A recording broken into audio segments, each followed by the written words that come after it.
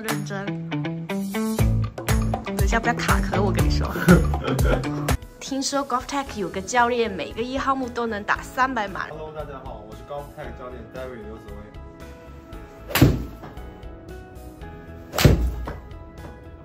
我个人呢是从青少年时期开始学习高尔夫，时期经历过很多比赛，包括拿也拿过全国的青少年的冠军，以及夜巡赛的冠军等等。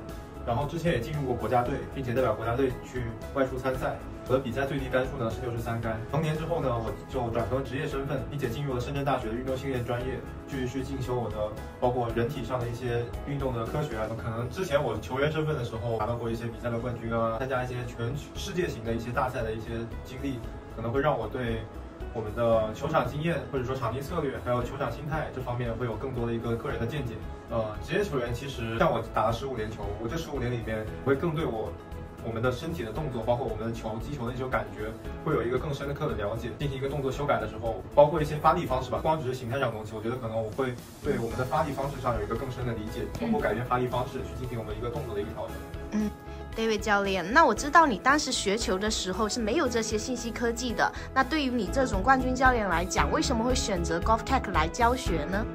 呃，在我大学毕业之后呢，然后我就带过一段时期职业球员和一些打比赛的青少年球员，看到我们 GolfTech 的一些介绍，像用运用的科技啊，比如像我现在用到的这个。我们的 OT Motion 的这种技术，包括我个人自己有时候在用这套设备在练球的时候，会让我很清楚的感觉到我的问题是出现在哪里，然后为什么我的球会出现一个左或者右的一个情况。对，就是很明显的能够进行一个快速的修改。嗯，其实大部分业余球员，哪怕是初学者，在我们刚开始学球的时候，运用到我们这个设备的情况下，可以让我们身体有一个更科学、更规范化的一个训练的一个方法。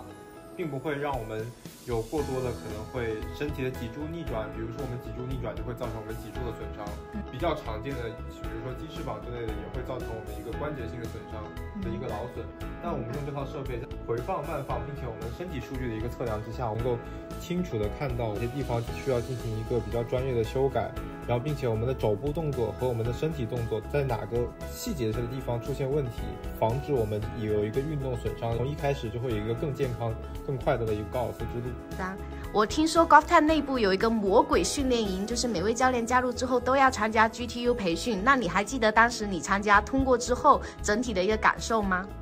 记得，就我当时进入高 tech 之后，然后学习了我们 GTU 那一套比较完整的一个学习流程。在学习之后，我之前对于高尔夫动作上修改的理解可能会有一个比较清楚的认知。在学习了之后，就能让我感觉到，就是能够更高效、更快速的去让我们的一个动作进行一个比较规范、一个系统性的修改。之前我有提到，我有教一些职业球员，还有一些打比赛青少年球员，他们比赛的经历，或者说跟他们交流，他们下场的心态上的经历，可能印象会比较深刻。然后在来高 tech 之后呢，有一部分业余球员，特别是我在给我有一个学员在改动作的时候，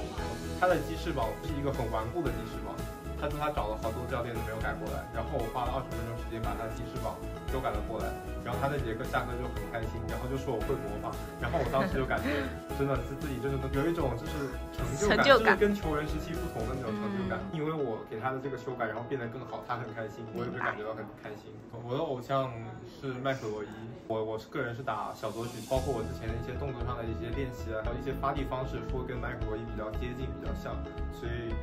我比较喜欢去看他打球，并且他的距离也会比较远，然后我也喜欢看到他在开球或者说攻攻略上比较激进的一些做法和一些怎么怎么去做球这种。那你有没有自己奉行的教学理念呢？觉得不管是针对职业球员，或者打比赛青少年球员，或者说我们的普通业余球员，教学我希望他学习到他的动作是因为什么出现了问题，然后要怎么去修改，修改的到底是什么。哪怕他之后可能很久之后他这个问题再犯了，但是他自己知道他这个问题是出在哪里，然后修改掉这个问题。青少年球员